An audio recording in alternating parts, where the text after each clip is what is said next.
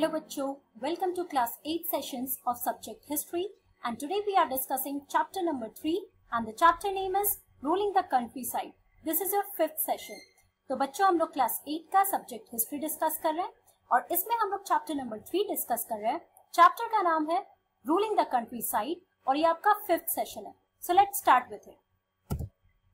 तो बच्चों एक बार ब्रीफ रिकैप कर लेते हैं कि लास्ट क्लास में हम लोगों ने क्या क्या कंप्लीट किया था then we will further continue our discussion तो बच्चों if you remember in our last class we were talking about the nij cultivation and the ryot cultivation right these are the two types two ways in which the indigo plant was cultivated तो हम लोगों ने निच cultivation में देखा था that it is इस system में, इस कल्टीवेशन के अंदर एक प्लांटर जो है ही owns directly owns a place और या तो वो खरीद लेता है वो लैंड को, नहीं तो फिर he takes on rent from some zamindar. और वहाँ पे वो लोग एम्प्लॉय करते हैं he hire some labourers who is working on producing indigo right और उसमें हम लोगों ने प्रॉब्लम्स देखा था निच कल्टीवेशन में कि प्लांटर्स को फर्टाइल फर्टाइल लैंड्स नहीं मिल पा रहे थे why because uh, these lands were densely populated. They were not able to expand their area. So less than 25% of the total land available to them was under this niche cultivation, right? फिर right cultivation में हमने देखा it was a system in which that was a force contract between the company and that of the rights या जो cultivators है। तो आप लोग आप लोगों ने देखा था कि किस तरीके से ये पेजेंट्स या जो हमारे कल्टिवेटर्स हैं, उनके लिए बहुत ही डिफ़िकल्ट था, क्योंकि उनको फोर्स किया जाता था एक अग्रीमेंट साइन करने के लिए, और उसके under they had to produce 25 on that 25 percent of land they had to produce indigo और वो लोग अपना राइस या वीट कल्टीवेशन जो भी उनका अपना कल्टीवेशन वो लोग को करना होता था they were not able to do और जो भी उनको पेमेंट मिलती थी after the crop was produce that was very less और उनका जो साइकिल ऑफ़ लोन्स था दैट वॉज़ नेवर एंडिंग तो हम लोगों ने देखा कि ये दोनों कल्टिवेशन जो इंडिगो कल्टिवेशन था that was quite oppressive for the peasants who were working under these planters. तो अब हम देखते हैं कि इसके बाद ये इंडिगो कल्टिवेशन में तो जो फोर्स किया जा रहा था पेजेंट्स को what happened so this is your topic the blue rebellion and after तो बच्चों, आप लोगों ने देखा दैट इंडिगो का कलर ब्लू है राइट right? और रेबेलियन क्या होता है? When this is a mass movement of people when they are opposing something तो बेसिकली जो इंडिगो रेवोल्यूशन जो हमारा ब्लू ब्लू रेबेलियन है that is the indigo revolt इसको हम लोग इंडिगो रिवोल्ट भी कहते हैं, क्योंकि जब जो हमारे प्लांटर्स थे, जो ब्रिटिश प्लांटर्स थे they were forcing the peasants और पेजेंट्स का कंडीशंस काफ़ी बुरा होते जा रहा था। वो लोग देख रहे थे कि कैसे जो कंपनी ऑफिशियल्स है they are brutally oppressing the peasants they were forcing these peasants to cultivate indigo और इसमें प्रेजेंट्स का अपना कोई फ़ायदा नहीं था। ये फ़ायदा सिर्फ़ और सिर्फ़ कंपनी ऑफिशियल्स को मिल रहा था राइट right? तो फाइनली एज अ रिज़ल्ट जब उन लोगों ने देखा पेजेंट्स ने देखा that they are not getting any they are not benefiting from this indigo cultivation तो वहाँ पे उन लोगों ने अपना एक रिबिलियन शुरू किया। उन लोगों ने रिवोल्ट किया against the British colonials colonials right? So this is called the blue uh, now let us learn about this blue rebellion. In march 1859 thousands of riots in bengal refused to grow indigo. तो जैसे ही pageants देख रहे थे जो rights जो cultivators हैं, उन लोगों ने देखा कि उनके लिए कुछ फ़ायदा नहीं हो रहा है। तो मार्च 1859 में फाइनली जो बंगाल के राइट्स थे, जो कल्टीवेटर्स थे they refuse to grow indigo now this was one way they were started they started revolting against the British colonials the British officials okay so as the rebellion spread riots refused to pay rents to the planters and attacked indigo factories armed with swords and spears bows and arrows तो बच्चों, क्या हुआ कि जैसे जैसे rebellion बढ़ने लगा जैसे जैसे रिवोल्ट बढ़ने लगा of the peasants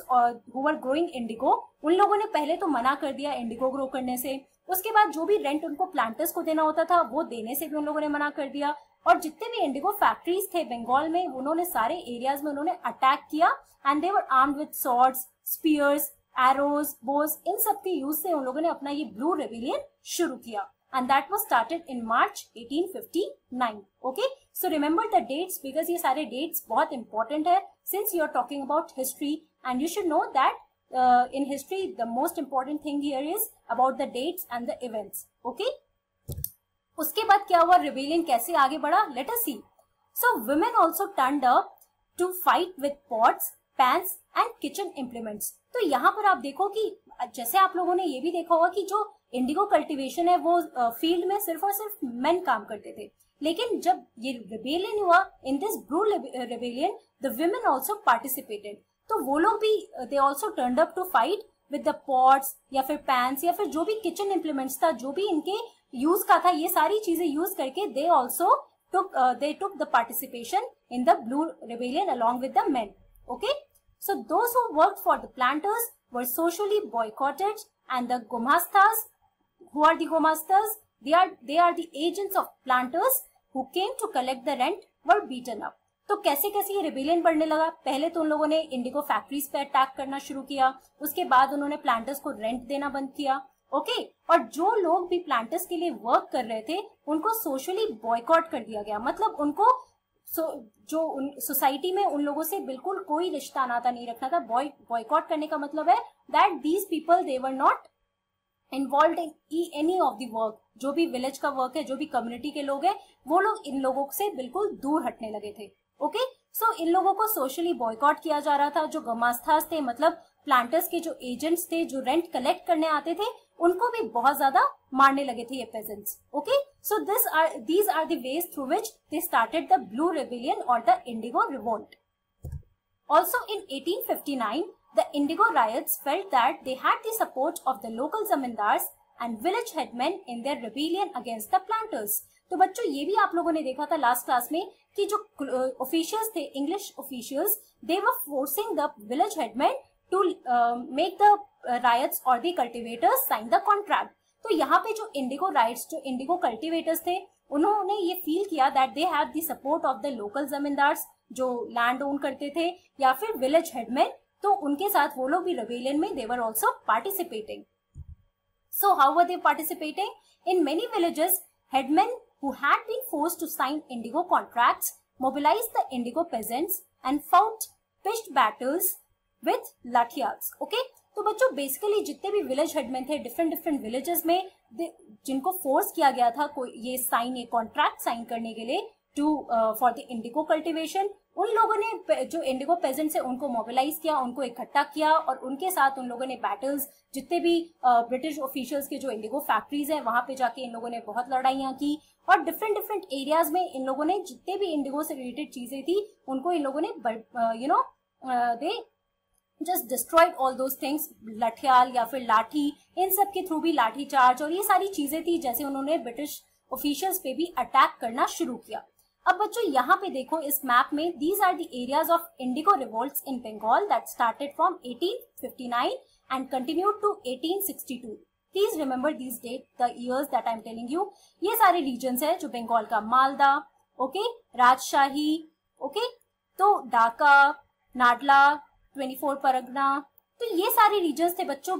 और ऐसे बहुत सारे रीजन्स थे जहाँ पे ये इंडिगो रिवोल्ट जो है बेसिकली बंगाल में शुरू हुआ था। Also in other places, even the zamindars went around villages urging the riots to resist the planters. तो ये जमींदार भी जो थे जो लोकल जमींदार थे जो इन प्लांटर्स को लैंड दिया करते थे they also went around the villages और उन लोगों ने कल्टिवेटर्स को अर्ज़ किया कि you should resist the planters you should not work any longer for those planters who are brutally oppressing the peasants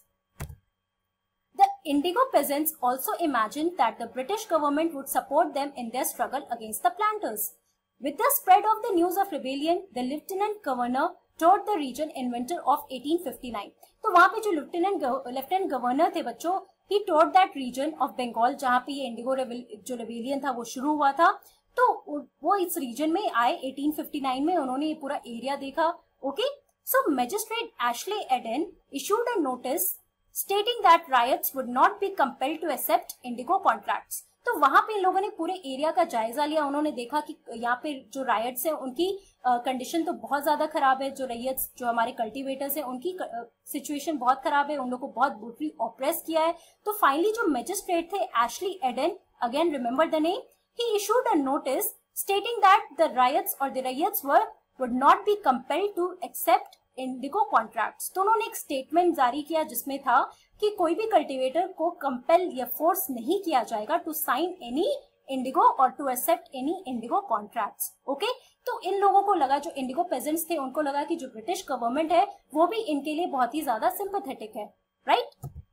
also worried by the rebellion the government brought in the military to protect the planters from assault and set up the indigo commission to inquire into the system of indigo production. तो बच्चों ये जितना भी rebellion था ये काफ़ी पूरे country में ये फैल गया था राइट right? तो धीरे धीरे government they were worried about the fact की प्लांटर्स के ऊपर ये लोग इतना असोल्ट कर रहे हैं तो फाइनली इन लोगों ने मिलिट्री जो भी सोल्जर्स uh, थे उनको बुलाया to protect the planters right तो पहले तो इंडिगो प्लांटर्स को लग रहा था that government is with them तो फाइनली उन्होंने देखा कि ये लोग तो प्लांटर्स को ही सपोर्ट कर रहे हैं इनको प्रोटेक्ट कर रहे हैं। और एक इंडिगो कमीशन सेटअप हुआ था हुआ था to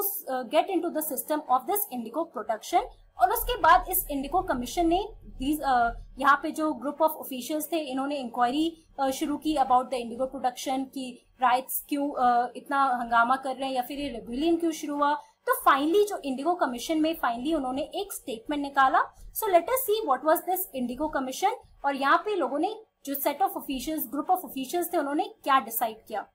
Okay so about the indigo commission the commission held the planters guilty and criticized them for the coercive methods they used with the indigo cultivators. तो बच्चों, जो कमीशन थी इंडिगो कमीशन इन्होंने पूरा इंक्वायरी किया। कि क्या था ये पूरा इंडिगो प्रोडक्शन का सिस्टम कैसे चल रहा था? तो उन्होंने प्लांटर्स को गिल्टी बताया और उन्होंने बहुत ही क्रिटिसाइज किया कि ये जो भी फोर्सफुल मेथड था जो प्लांटर्स यूज़ कर रहे थे against the peasants that was not good also it declare that indigo production was not profitable for ryots जैसे इन लोगों ने देखा कि इनको बहुत ज़्यादा कम बहुत कम पैसे मिल रहे थे जो कल्टिवेटर्स थे राइट तो इन्होंने देखा that indigo production was not at all profitable for the ryots और the cultivators the commission asked the riots to fulfill their existing contract but also told them that they could refuse to produce indigo in future. तो बच्चों ये rebellion तो बीच में शुरू हो गया था अचानक से रैयत्स को अचानक से मार्च 90 1890 1859 में अचानक से उन लोगों ने शुरू किया ये रिबेलियन इंडिगो कमीशन ने ये फाइनली सजेस्ट किया कि जो भी कल्टीवेटर्स हैं आपका जो भी uh, जो भी कॉन्ट्रैक्ट बना है you should fulfill that contract और उसके बाद ही suggested the commission suggested the ryots ryots that they should not further continue to work for the indigo cultivation उनको कुछ भी फोर्सफुली करने की ज़रूरत नहीं है. They should not they could you know refuse to produce indigo in future मतलब कि आगे जाकर इंडिगो कमीशन ने फाइनली ये डिसीज़न लिया कि किसी के लिए भी फोर्सफुल नहीं है कि आप इंडिगो ग्रो करो। जिसका मन करेगा वो लोग ग्रो कर सकते हैं। और प्लांटर्स को भी गिल्टी हेल्ड किया गया that you are not suppose to force any one to forceful to sign the contract and get them to work in the indigo plantation okay also after the revolt indigo production को collapsed in Bengal तो ये blue blue rebellion के बाद बच्चों finally क्या हुआ? ये revolt खत्म हुआ। इंडिगो कमीशन ने अपना रिपोर्ट निकाल दिया। तो इंडिगो प्रोडक्शन जो है बंगाल में तो फाइनली कोलैप्स कर गया, खत्म हो गया। But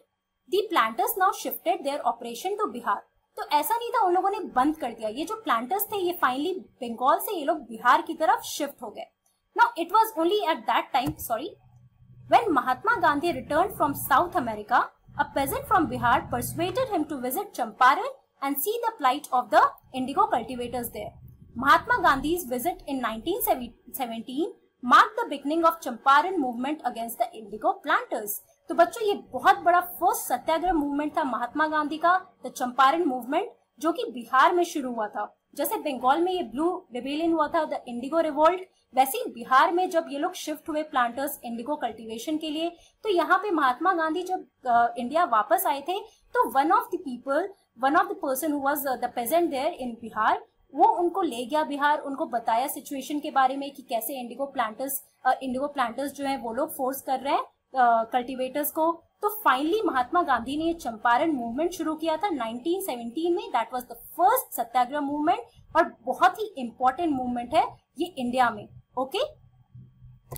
तो बच्चों, आज की क्लास में हम लोगों ने ब्लू रेबेलियन के बारे में बात किया एंड इट्स कॉन्सिक्वेंसेज और हमारा ये चैप्टर जो है खत्म हो चुका है। That is ruling the countryside Please go through your NCRT book. The next session is going to be the question answer session. So read each and every point. Remember the dates because the dates and all the events are really important here for you. सारे events को देखो किस तरीके से Indigo cultivation हुआ था rebellion कब हुआ था कैसे हुआ था और जितने भी सेटलमेंट्स के बारे में हमने पढ़ा please go through that okay so that's all for today thank you very much